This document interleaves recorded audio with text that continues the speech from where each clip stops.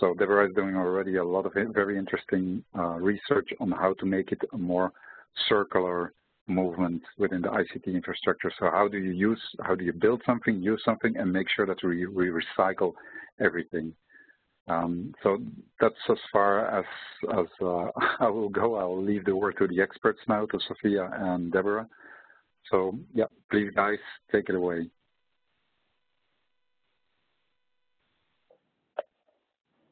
Thank, you, Roel, um, and, and, thank you for, for, asking us to speak today. Um, so myself and Deborah will share the presentation. Um, we just have a, a, few slides to, to kind of discuss around. Um, and at the end, we will have a bit of time for, for questions, which we'll, we'll look at after the, the presentation. Um, I think just, just to kick off, I wanted to give some background into why we were invited to, to give this webinar and, and kind of put things in, in context. So um, the Green Grid's been around about 10 years now, and they've done some really important work focusing on, on greener data centers, um, mostly around energy efficiency. Um, I mean, I think it's, it's really great that the, the data center industry is now very much focused on minimizing data center energy usage and, and best practices has really become commonplace there. That when, when you're designing and operating a data center, you're looking at ways to, to maximize your efficiency and, and to minimize your energy use. Um, but when, when you want to look at sustainability holistically, energy use and energy efficiency and, and operational energy are, are, not the only elements to consider. Um, so Deborah and another colleague of mine, uh, Beth Whitehead, have done some really important research in this area. So we're going to kind of give you that, that full background and, and really explore um, where we think the industry needs to go to become to become truly sustainable. So I think I'll, I'll hand over to Deborah and she can give you a bit more background on, on the approach, the life cycle approach. Okay. Um, I think everybody is aware that um, the data center industry is comparatively new um, and that it has evolved incredibly quickly. Um, and it's understandable that the emphasis um, of sustainability in this area has been on energy consumption, whether that's for operating servers and IT equipment or for cooling or whatever. Um, it is uh, there's a really significant demand for energy. But as the sector grows with the introduction and development of the Internet of Things and um, processes such as blockchain, etc., our reliance on the digital economy is increasing and data center industry is going to grow to serve that uh, demand. So um, we need to think not just about energy, but um, about all the various materials and so forth that go into actually constructing data centers themselves, the building, the supply infrastructure, all the cabling, etc., um, and as well, uh, obviously, all the IT and data processing equipment. Um, and there's been a lot of interest in WEEE, which is waste, electrical and electronic equipment, um, particularly from the consumer uh, sector, the domestic sector, um, because a, a, lot of us are slightly responsible and we don't use um, our electronic gadgets and devices until they break. We upgrade and replace them when new products come on the market. And then um, a lot of uh, smaller items get discarded and sent to landfill, which isn't very good practice. Um, so there's been a significant move to improve um, collection and reprocessing of that sort of equipment, but there isn't so much um, uh, conscious or um, definite activity for reprocessing equipment from uh, commercial sector and organisations like data centres. But we really, really do need to think about the impacts of, all these physical components in some way. Um, just a little um, point about life cycle assessment. When we are considering the impacts of physical objects, we need to think about where the materials come from to make the objects in the first place, all of the energy and the processes required to make the object, the transport of the materials and finished objects to the places where they're either going to be sold or utilised, and then once the um, products are, they reach the end of their life, the transport to some kind of um, reprocessing or disposal facility. And we can't keep throwing things into holes in the ground, i.e. sending things to landfill. That's incredibly wasteful. It can also um, cause environmental problems as um, products and materials break down and produce emissions to air, water and soil. But also it's incredibly wasteful because um, we're not utilising resources that could easily be reprocessed in some way, recycled, reused, remanufactured. So it's, it's very, very wasteful. Um, it's not so much as a life cycle as a lifeline where we take, make, use and dispose of things. Um, and we really need to think about reusing and recycling at end of life. Now, one of the problems we've got, if we're looking at um, products, there are lots and lots of different inputs and outputs to create products and to treat them at the end of their life.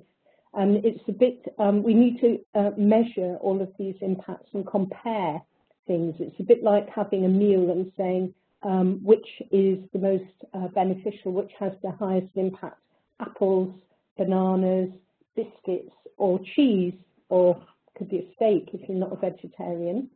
Um, so we want to, all of these um, different food products, they all, you know, nourish us in some way, but the way in which they're produced um, differs considerably. And we need to um, develop a metric that, so that we can compare all of the impacts, um, inputs and outputs and impacts of these things equally. And life cycle assessment is the methodology for doing this. It's a process that began in the 1960s initially, and it's become increasingly uh, sophisticated over time as we've collected more and more data about all the various processes. Um, and there are lots of levels of looking at um, the way that, uh, or the, the um, impacts that are produced. Um, we can look at things in considerable detail, or we can amalgamate um, results and get single, what are called single scores, so that we can get a, a snapshot. Um, so it becomes easier for non-experts to compare again, going back to the food analogy, apples, biscuits and steaks, you can see which has the highest overall impact. We can also identify hotspots. These are um, areas within a life cycle that have a higher impact than other areas, and how then we can try to address those through, it could be um, reducing energy input or the manufacturing process or material selection. That's just um, a little bit about life cycle assessment, and that's something that um, um, Sophia mentioned, um, our colleague Beth Whitehead. Beth and I worked on a project for um, a few years looking at the whole life cycle assessment of data centres. We came up with some very interesting results. Well, it was really Beth who drove the project. She came up with some incredibly interesting results that um, Sophia will now talk about. Okay. Okay. Thanks for that, Deborah. Um, I mean, I think it's fair to say that life cycle assessment isn't a new process. It's it's yeah. done for many types of services and, and products. And yes. There's a couple of ISO standards. Yes, there, there are there, methodology. Yeah, there, there are ISO standards around the methodology. There are quite a number of different approaches. It's not um, an it's not an exact um, science, um, and the results can vary according to the, the methodology that you use. Um, so the ISO standards state very clearly that you have to be absolutely transparent about the approach that you've taken um, so that the, there shouldn't be any smoke and mirrors. Mm -hmm. um, another point to mention briefly, I think, here is the difference between complete life cycle assessment and carbon footprinting, because there is a difference. Carbon footprinting is a useful approach um, when you're looking at sort of the impact of energy in particular. We talk about embodied carbon in products or buildings or whatever. But that, um, when you're looking at carbon, you're really getting a, a snapshot of one uh, very particular kind of, um, well, it's obviously a gas or material, but it's, it's only one um, item. Um, life cycle assessment considers many, many more impacts. Um, so the emphasis of carbon assessment obviously is, um, uh, you know, the impacts on climate and so forth. But when we're looking at um, life cycle assessment, true life cycle assessment, we think about thousands of different inputs and outputs and impacts at the same time. Fortunately, as um, um, sort of designers, um, architects, etc. We can, we've got access to all sorts of databases and software tools that will do all the calculations for us. The environmental technologists are really the people who build the sophisticated um, models. But um, it's very important with life cycle assessment um, to note the difference between that and carbon studies. Um, carbon studies give you a, um, a, snapshot, but it can be, it's less accurate than a full life cycle assessment. So for instance, um, in the case of um, refrigeration equipment, for example, um, we carried out some models for someone a little while ago, and we found out that fridges, and don't forget they're rather like data centers in that their operational energy input is comparatively high. Um, the embodied impacts of fridges, commercial refrigeration equipment, in a carbon study is about 2.5% um, of that of a whole life, and the operation, the impact of operational energy is about 97.5%. So that suggests or indicates that, or to some people, is it worth thinking about the embodied impacts? Actually, it is. And when we look at um, full life cycle assessment for the same product, this commercial refrigeration equipment, we find the ratio is rather different. We find it shifts and the operational impacts are equivalent to 80% of overall life cycle impact and the embodied impacts are equivalent to 20% of overall impact. That just highlights the difference. If you're looking at a lot more, a much broader range of inputs and outputs, etc., you get a rather different picture to just carbon footprinting. And it also emphasizes the need to take a much more holistic approach to data center sustainability. Okay, okay, great. Thanks for that. I'm just going to try and move on to the next slide. um, we've got a summary of some, some results of the data center life cycle assessment. Um, sorry, we have them on the following slide, but just, just to summarize what life cycle assessment has, has told us about where the key impacts are for data centers. And we've got a, a diagram to, to highlight all the key areas. Um, obviously, energy use is, is something that we, we've talked a lot about, and uh, PUE is a very widely used metric in the industry. Um, PUE only looks at the infrastructure energy use and energy efficiency, so only the, the overheads associated with M&E equipment, mechanical and electrical equipment, i.e. power and cooling. Um, during the operational energy use phase, obviously the, the one in PUE is, is the IT equipment, um, and we know that there's a lot we can do to optimize there, um, so around software efficiency, hardware efficiency, virtualization, etc. Um, but as, as Deb mentioned, um, there's a whole embodied phase as well. So we, have got equipment impacts um, for the IT equipment. So, you know, the, the emissions associated with mining metals, um, manufacturing printed circuit boards, for example. Um, and then the same on the power and cooling plant. Um, so when we can produce a design which doesn't have refrigeration equipment, for example, that, that helps us reduce our environmental impact um, the embodied impact of, of cooling equipment effectively. Um, research also shows that um, really the energy mix, the, the, electricity that you're using during the in-use phase, but, but actually also during the, the production phase, the, the embodied phase, makes a really big difference as well. Um, and that's because um, producing electricity with fossil fuels is, is very polluting. So we really see very high impacts um, in, in places where we're not using green or renewable energy. Um, so we've, got the dimensions where we look at these, these key areas. So the, the equipment impact, the embodied impact, um, the energy use during the operational phase, and, and then the energy mix. Deb mentioned how we, we try to simplify things down to a simple score often because it, it, allows us to weigh up different areas. And in, in this case, we are looking at points, so the uh, eco-invent points, um, which is a way that we can normalize the impacts of, of different emission areas. And our, our unit of measurement is essentially points per kilowatt of IT per year. That's, that's what we're comparing all these emissions against. Um, to, to, give a bit of context, 1,000 points is equal to the average environmental impact of a, of a European. a, a, European yeah. person, yeah. Um, so in, in, terms of how, how, well are these things addressed um, at the moment, um, so energy usage um, is addressed in the European Code of Conduct for data centres, and energy efficiency is the main focus there it does mention to a certain extent green energy and embodied impact, but the, the main scope is around the, the operational energy use. Um, in, in, terms of business case, I mean, it's quite clear that if you reduce your, your energy consumption, you will save money, so mm. you're, you're reducing your OPEX. Um, there, there is a certain correlation as well with if you're dematerializing, if you're using less plants, then you can potentially have a capex saving as well. Um, and there's a lot of companies now where um, corporate social responsibility is, is very important to them and their, their brand is very important.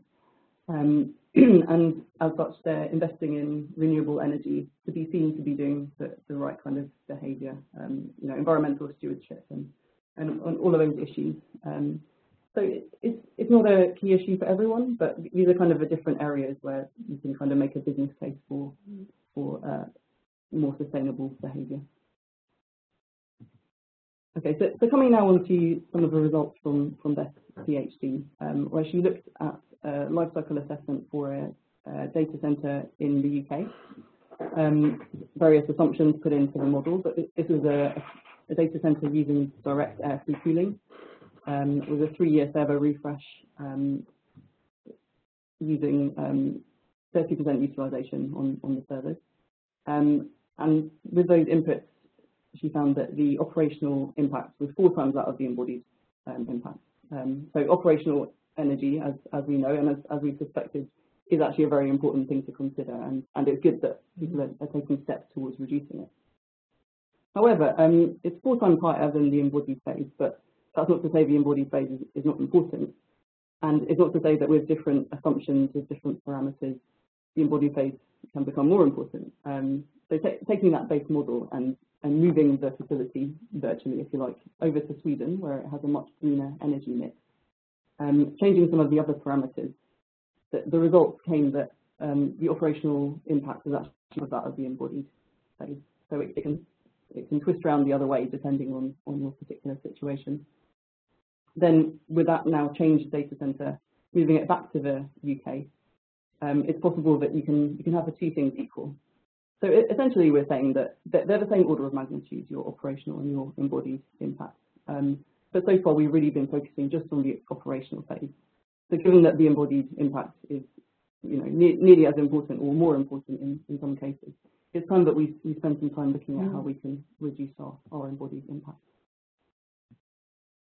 Uh, so these are some further results from, from the study. I'm, I'm not going to go into the detail of what these are, but this is really to highlight the different areas that we look at in life cycle assessment. So that there's different damage categories, and essentially, correct me if I'm wrong here, Deb, but there's different areas of emissions that you look at, and, and they're grouped into these, these different areas. And then you assign them points, and then you're able to weight them, just depending on, on your chosen weighting scheme.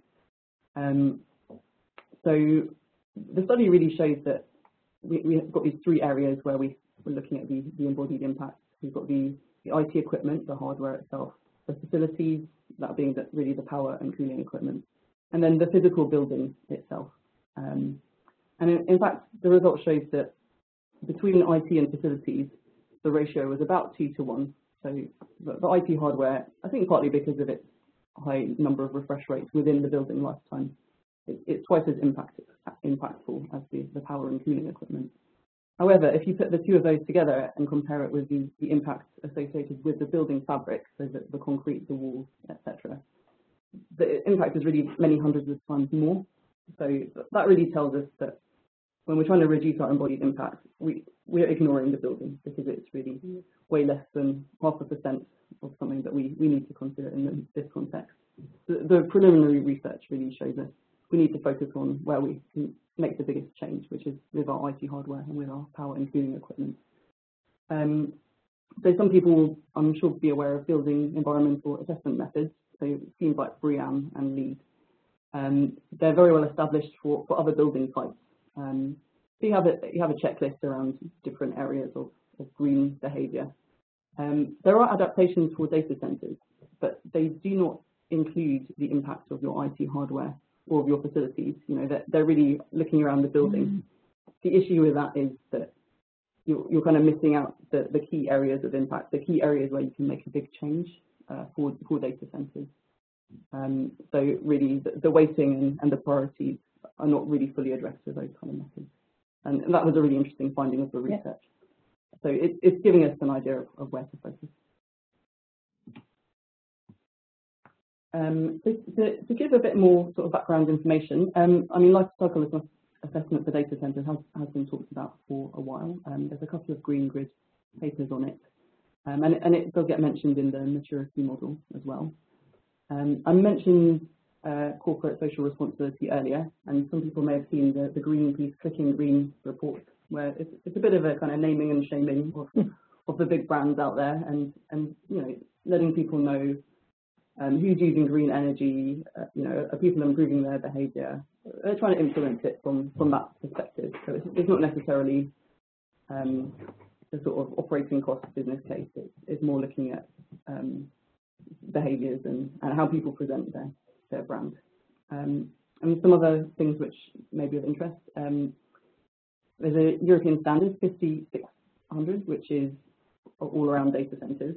Um, and there's two technical reports associated with that. So the first one is uh, technical report 99-1, which essentially takes the best practices from the Code of Conduct on Energy Efficiency and puts it into a standard format.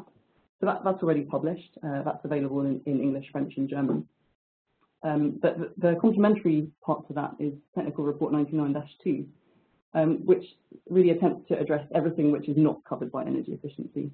So all of these embodied impacts, which we, we've talked about earlier, um, so that's a standard in, in development, and that, that's something that I'm involved in editing. Um, so we're really trying to make sure that we're we're covering everything when it comes to data center sustainability. Um, there's, there's, also um, further interest from from the European Commission. Uh, there's, a, there's, a, project that we're working on green public procurement for data centers. And there's a there's a link on the slide here, but you, you can register for more information about that. And again, it's, it's taking this life cycle approach and trying to help people make good procurement decisions uh, when it comes to, to data centers. And also ongoing is eco-design servers lot 9, which, which is, again, is taking a life cycle approach to, to the impacts of, of servers, um, their embodied as well as their, their operational impact. Um, yeah, I don't know if you wanted to, at this stage, maybe talk about uh, some of the other impacts which we, we don't normally focus on, um, particularly water, where we've had yeah. recent interesting findings. Yeah, um, I think it's incredibly important to consider um, lots of impacts, as I mentioned before, to try to get the most accurate picture possible of um, life cycle impact from cradle to grave and cradle to cradle. Um, but one, uh, a good example of this, um, we were just um, discussing before the impact of, well, a very extreme example would be something like strontium versus something like silicon. If um, as a human you're exposed to one gram of uh, strontium, your life expectancy is minimal, as is uh, the that of just about everybody within a thousand miles or more. Um, whereas if you're exposed to a gram of silicon, that will have no impact whatsoever. So we need to think about, you know, the, the, the properties and um, things that different materials can do. One particular resource that um, is becoming more um, or more attention is being paid to it. It's um, certainly being um, sort of moved up the political agenda um, is water. And it's something that we can't do without. It's absolutely key to life. Um, so um, it's uh, it's interesting. One the results of this study that Sophia showed before, when we were looking at moving a, uh, a data center from um, the UK to Sweden, for example, one of the reasons why um, the impact or the embodied impact um, of the data center shifts um, and the ratio of embodied to operational impact is about 50-50 is because of the availability of renewable energy. In this case, it's hydroelectricity, which is fantastic. So that's all really good. We're using a natural resource, um, you know, zero carbon, although obviously the infrastructure to generate the electricity, etc., has an impact itself. However, something that we do need to think about very carefully is the impact of um, the water that is used in the data center, in this instance for cooling because when it um, when it's used in this, the cooling systems, it becomes polluted in effect, and then there is a, a big issue, a big cleanup issue. Um, you can't just, or you shouldn't, just pump the wastewater into the existing river network or whatever. It has to be treated in some way.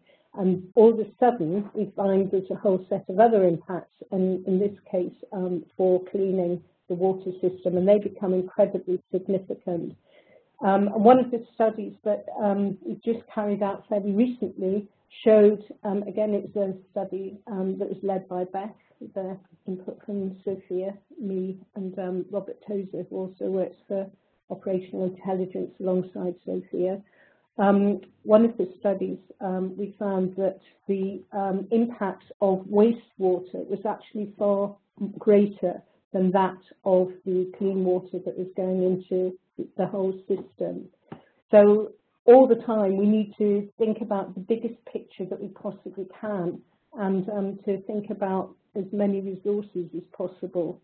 Um, yeah. I think um, water is a really interesting one because um, with a lot of people trying to reduce their energy usage in cooling systems in, in particular, I mean, that, has been a really massive change in, in, data center design and operation over the last few years. Mm. But in order to minimize your energy usage, you're usually using more water, so you're you're doing evaporative cooling, so you're able to eliminate or at least reduce mm. refrigeration, and you're therefore using a lot more water. So I guess the question is, what's the trade-off between electricity and water? Yeah. And, and we really found that life cycle assessment was a useful tool to be able to compare yeah. apples and pears, yeah. if you yeah. like. Um, I think what's interesting as well is, again, the Green Grid have a paper, WUE, looking at water usage effectiveness.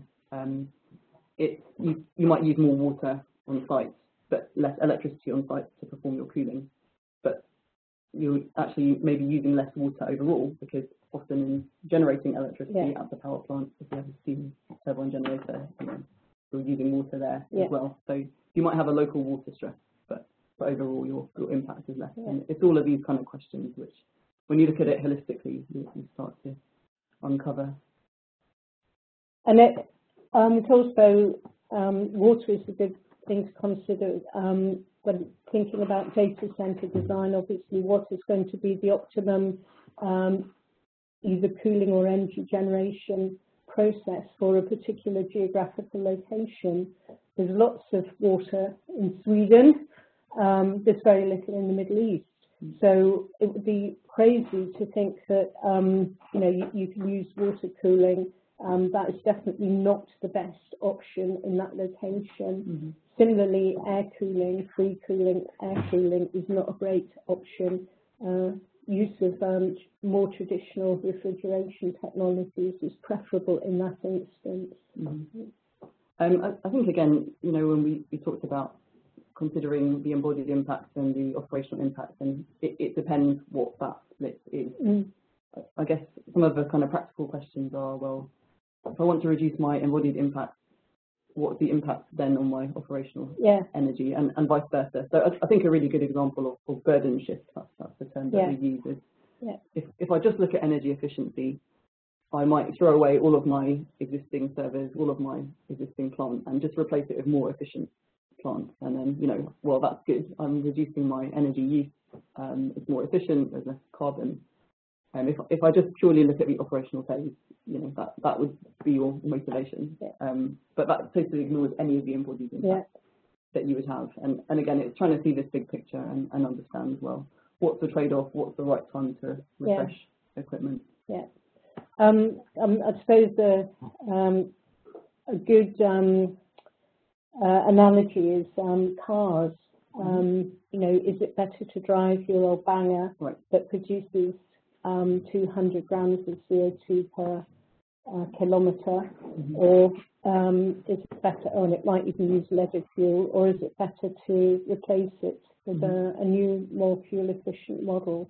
I mean, it, you really do need to look at as big a picture as possible, because mm -hmm. um, things like your annual mileage will come into um, play when you're making a decision about upgrading. And it's the same with data centers as mm -hmm. well. Sometimes it's better to use older equipment rather than upgrade. Mm -hmm. Yeah, yeah I, I, guess the complexity is that we're talking about lots of systems, lots of subsystems, yeah. and the way that you use them, the parameters, your assumptions it, it depends is, is the answer. Yeah. that, yeah. That's the complexity. There's definitely no um, one answer. Mm -hmm. Yeah, no one system. Okay. Yeah.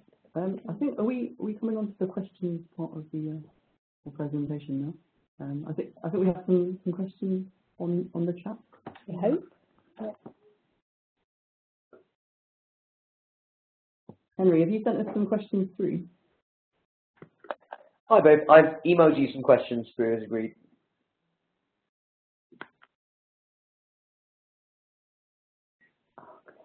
Two questions so far.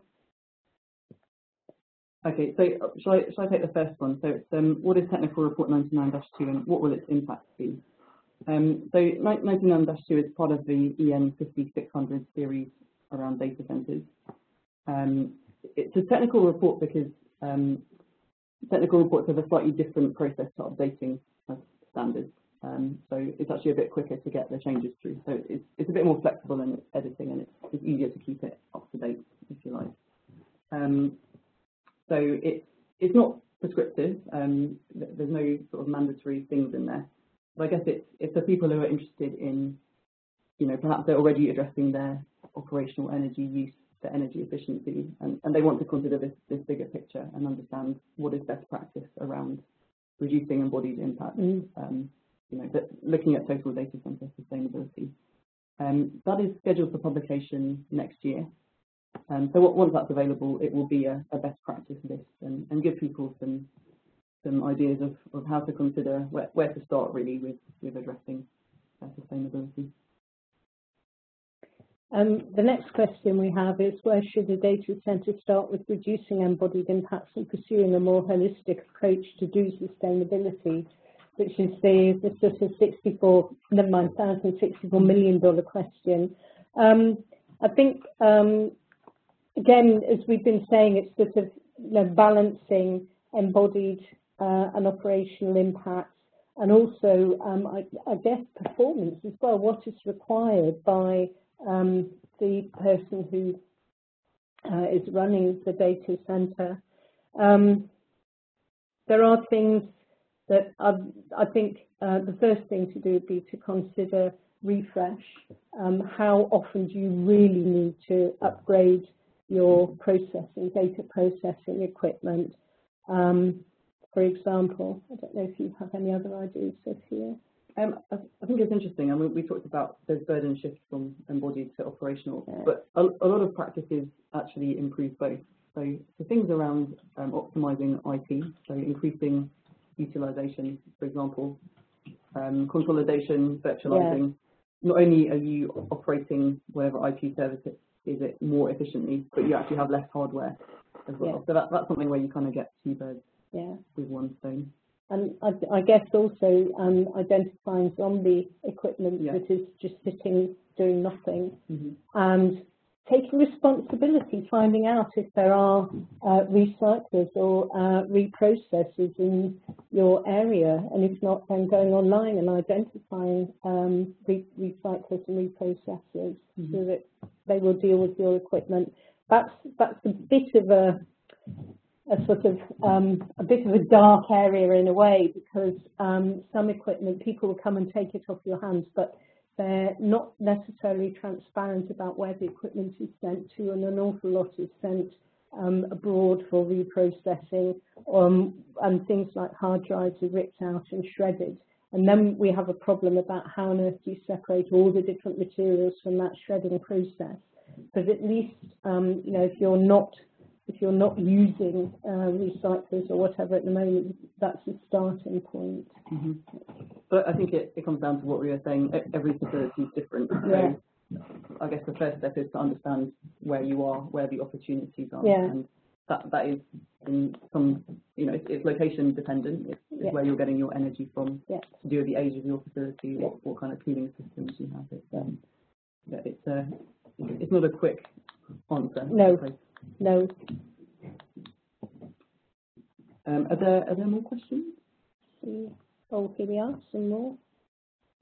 Another one which I think you might not be in a position to answer.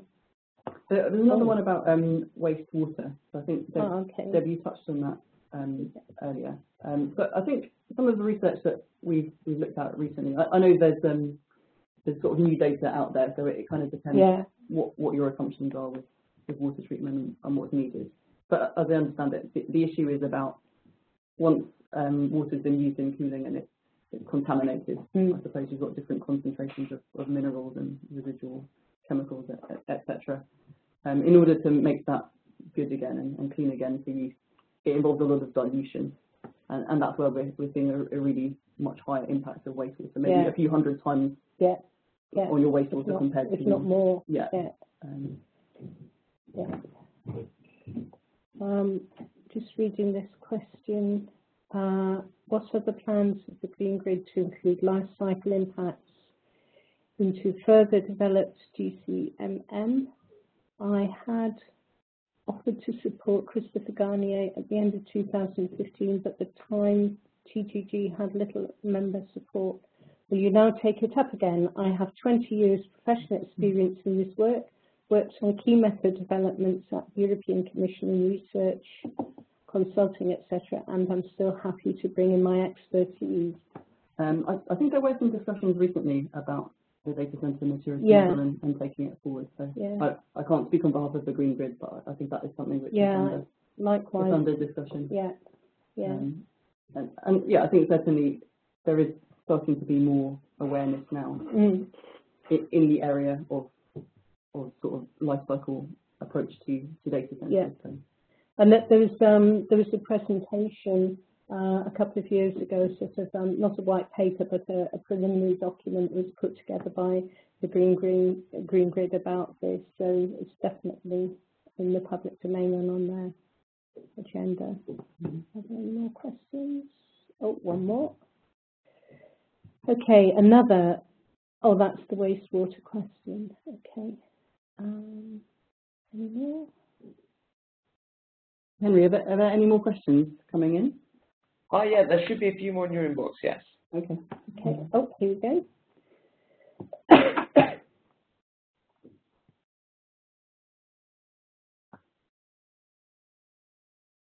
Ah, can you expand what you mean by polluted water? Um, Well, I, I suppose it's um, non non potable water. non-drinkable, sorry.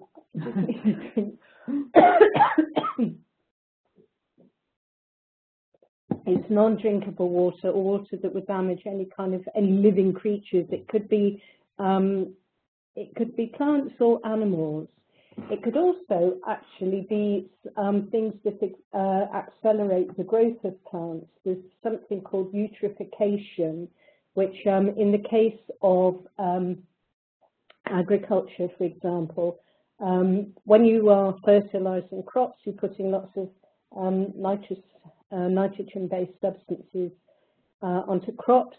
That will then run off farmland into the watercourse and um, any sort of weeds or whatever in rivers will consequently grow.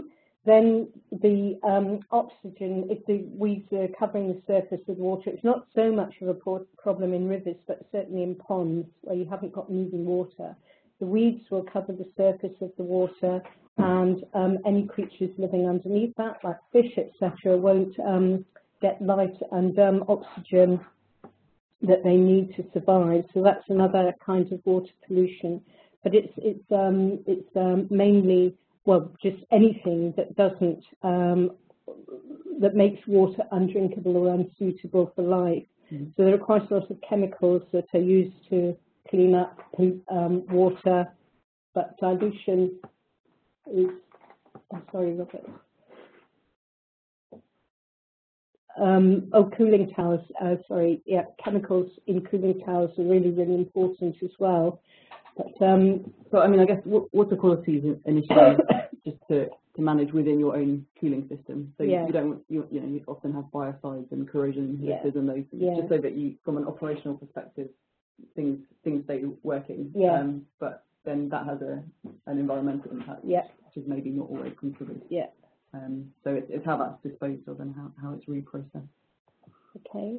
Um, I think there was a specific question about one of the slides. Maybe if I just go back to that, that slide, yeah, and can to read the questions too. So I think, it, right, is, is this, sorry, there's, there's a question just asking to recap over um, scenario three. So why did the, um, why did the switch to UK electricity make such a high contribution um, of the production stage compared to, to use. Um, I suppose it's just understanding what, what are the steps that we've gone through here. So um, going from scenario one to two, we've, we've not only changed the location, but there's some other Yeah. changes with respect to um, the IT side of things. So we've been able to, to do more with less. We've got more servers, but we're actually reducing our overall energy consumption as well. Um, and then once we once we bring that back to the UK, um, again, it's reduced energy, it's increased servers, um, but there is actually quite a big difference in the impact between Swedish and, and UK energy. Yeah. Um, Um, it, I suppose another factor, um, a lot of um, electronics equipment is made in the Far East, and um, although there is growth in renewable and use of renewable energy in China, there's still a hell of a lot of use of fossil fuels, coal-fired power stations, etc. Um, so if you can shift um, to renewable technologies for actually manufacturing things like printed circuit boards, chips, etc., then that will have a significant impact on the overall um, embodied impact. So th these were some of the criteria that were considered in the um, this third hypothetical scenario for UK energy.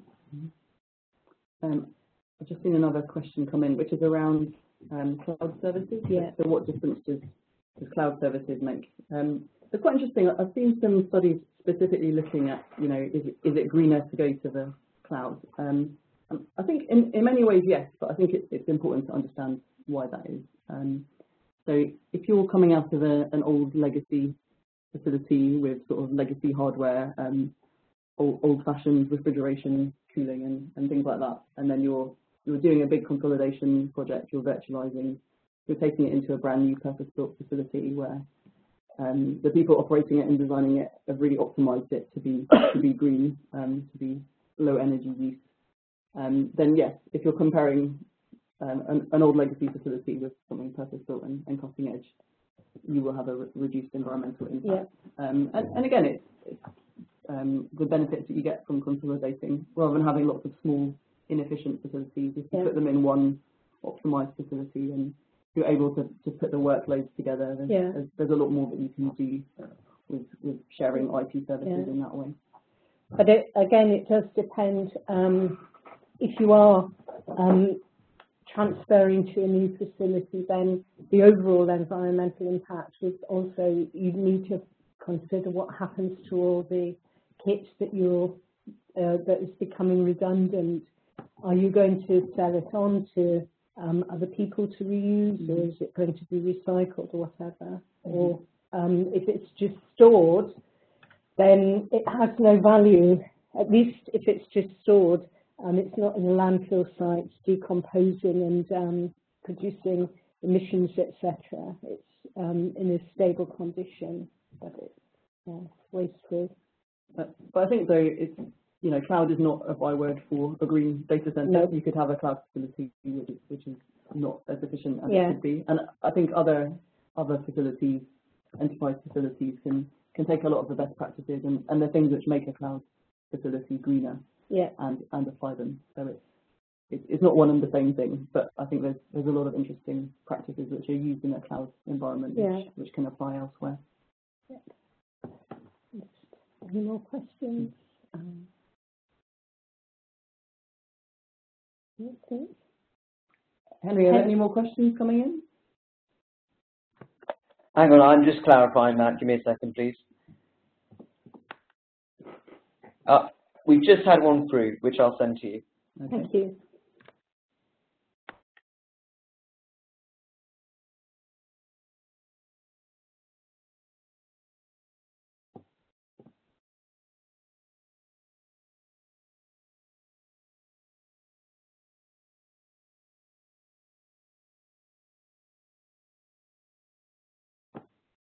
Oh, here we go. How would you approach the data center sector, which are not always owners of IT equipment, to embark more closely on shared supply chain responsibility? Mm. Big question. Any ideas? I, I mean, it makes me think of the green public procurement Yeah, project that we're working on because th- there's lots of different procurement scenarios, um, you know, and there's, there's lots of different types of users.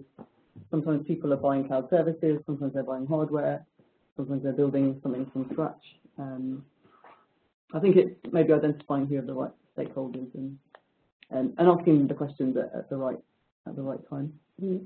I think um, it's something at the moment it might be um, difficult to do this, but um, in the future it's going to, you know, just as um, uh, construction companies, for example, are now, um, they publish their corporate social responsibility. There are very definite um, moves and evidence to improve and clean up the supply chain.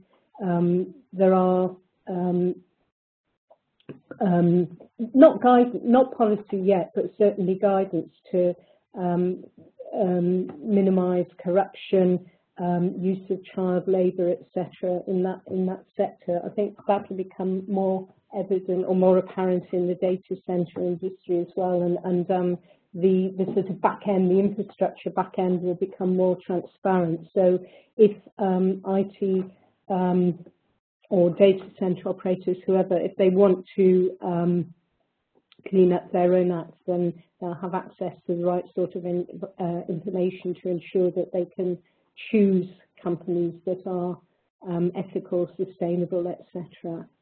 So it's, it's this is um, because the industry is comparatively new. Mm. as yet, we haven't got um, the sort of processes and procedures and, and so forth in place, but that is definitely under development and before too long it'll be in the public domain. I, I think that's right. The, the point of about transparency is, is really important mm. and um, and I think just increasing awareness because yeah.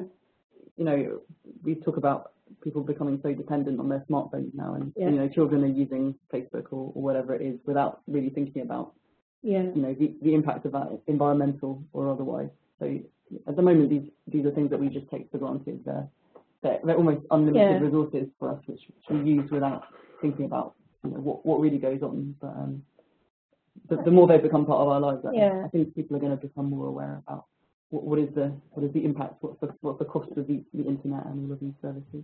And I think that there are a lot of myths that are uh, in the public domain well, and the professional domain as well, about, oh, I'm not going to print that because uh, if I use, um, you know, digital information, it has no impact. That is nonsense, and somehow we have to, you know, uh, make sure that people are pro properly educated and aware of the impact of um, digital technology and data exchange, etc.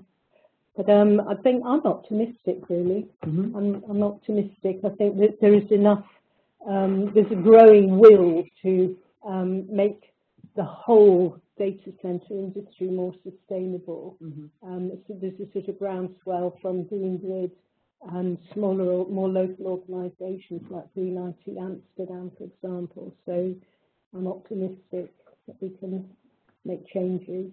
Mm -hmm. And I think just looking at, you know, the way that things were designed and operated 10 years ago, yeah. you know, it's, the, the industry's come a long way in, in a short space yeah. of time Yeah. really. It's very dynamic, it's, it's innovative, it's technology led. So yeah. I think now we're just really starting to focus on, well, what are the other areas for, for improvement? So, you know, who, who knows where we'll be in another 10 years' time. Yeah. Yeah. But from a, from a life cycle assessment point of view, I think some of the challenges that we've had in, in the research is, is access to data and, mm. and and seeing what studies are out there, how much manufacturers are willing to share yeah. about their own products as well. Uh, that's yeah, that's um, it, that's a real challenge. Um, but uh, there's just a, a statistic that um, certainly took my breath away when I first saw it. Um, we think about um, digital technology, you know, saving the world. Um, it might, it might not. Um, one of the big sort of embodied factors is the, the all electronics equipment and chips in particular um, they require a lot of energy to produce them. So although they are incredibly small and light, and we find them absolutely everywhere, whether it's washing machines or central heating boilers, cars, TVs, whatever. Um, the there's a, somebody did some research, forgive me if I can't remember the reference, but um, on a, a, sort of weight for weight um, basis, in order to produce a car, and it could be, um, you're looking at one gram of car, a kilo of car, whatever, it doesn't matter, the ratio of fossil fuels required to produce the car is one to two. So for every gram of car or kilo of car that is produced, you require two either grams or kilos of fossil fuel. When you're looking at um, electronic equipment, the ratio is dramatically different. In order to produce one gram of electronics and in chips in particular, it requires 630 grams of fossil fuel. So that's a totally, totally different ratio. Mm. So, you know, there is something, there are a large number of cars in the world, but there are many millions times more chips. So, um, yeah, we've got to really sort of start thinking about what happens to electronic equipment at end of life um, and stop wasting the um, embodied fuels, etc., and resources that uh, um, have been used to produce the electronics equipment in the first place. Mm. And if we do that, then um, it may be that um, actually it becomes more environmentally efficient not to print things than to print them. Mm -hmm. yeah. Okay, I mean, I, I, think we're we're kind of coming to the end of the hour now, so I think um, we're, we're probably ready to close the. Yeah. Just one more thing. Um, Roel is on the line. He's going to answer the question about the Green Grid and their own uh, approach to this issue. So I'll just hand over to him for a second. Okay. Yes, uh, thanks, guys. Um, so let me see. So the question was about uh, uh what's happening with Christophe and Garnier with uh, the DCMM. So uh, I'm not sure where it came from, but uh, well, there's no simple answer to it. Well, first of all, Christophe, uh, he, he uh, had trouble with his health last year, so that's why things didn't move along as smoothly as everybody wanted it. And then understanding from his point of view, he didn't want to give it up. Uh, and then he said, like, okay, just give me a little bit of time until I'm recovered, and then I'll, I'll, i can pick it up again. Uh, but so everybody was hopeful, hopeful that he would pick it up again, but his health did not allow it to pick it up again. So um, or somebody who was, was proposing to do some work in it, so that would be welcome, but just be aware that Christophe Garnier is, is out of the picture because of uh, his health issues. Uh, and if somebody is willing to to take over, uh, to take over the flame from him, then uh, I would suggest uh, best way is, is, to send me an email or give me a call and, and, we can discuss how it would work and what actually needs to be done. And if somebody wants to volunteer or team wants to volunteer to on up where um, left off. So that, that's what I can say. I'm not sure if we can discuss it on this call, but uh, please, please let me know if uh, there's willingness to take it on. Just be aware that Christophe is not in the lead anymore.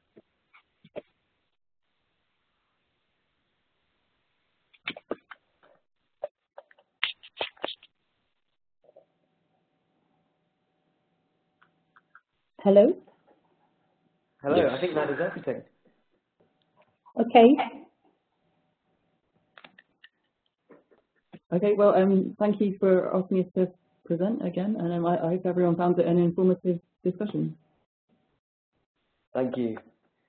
Thank and to clarify to everybody, we have recorded this and we will send around a recording of the roundtable. Yeah, and maybe just uh, so I'm sorry to before we go, there's just uh, some more news from Lens on the DCM, so the data center maturity model. So apparently, uh, it has been made publicly available uh, and it's integrated in EN5600. So that's something from Lens. Thank you for that, Lens. And Marc-André, please, yes, please get in touch with me if you wish. All right. Okay. That was it. Thank you very much. Thank you for attending. Thank you.